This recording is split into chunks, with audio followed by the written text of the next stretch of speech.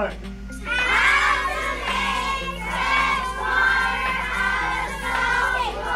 This is our fourth annual Discovering Desal event.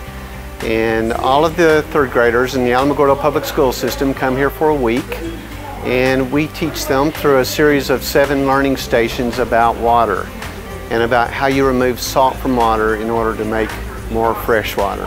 So it'll go for the whole week and we'll have a few private schools and a homeschool group next week as well. And our goal is to make it fun and educational. We have seven learning stations oriented toward third graders so it really connects with them where they learn how to remove suspended solids from water, how does water get salty, how to remove dissolved salt from water using reverse osmosis. So the kids spend about 10 minutes at each learning station. They learn about the, how water gets salty, how to remove dissolved salt from water, how to remove undissolved uh, substances from water. So at this learning station, the kids are learning how to remove undissolved substances from water. They're learning the concept of filtering water, and they'll also learn how to backwash, also in this particular group.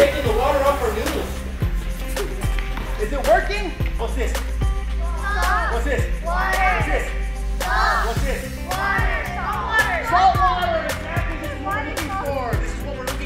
At the end of this event, we will have taught 2,000 kids, all third, fourth, fifth, and sixth graders in the Alamogordo Public School System about water and about how you remove salts from water.